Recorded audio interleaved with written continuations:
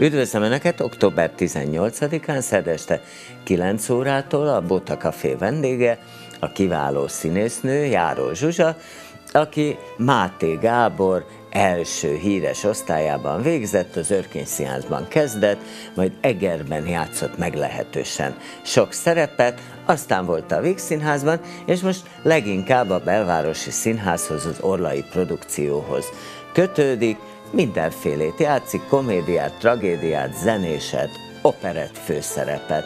Tehát akkor október 18-án szerde este 9 órától Járó Zsuzsa a vendégünk, várom a telefonjaikat, a Skype-jaikat, és természetesen megint lesznek ajándékszínház jegyeink is. A viszontlátásra!